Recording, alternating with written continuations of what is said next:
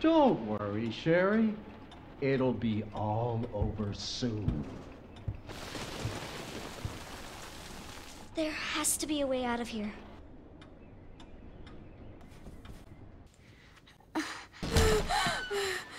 You hear? It's all over now! Doors locked!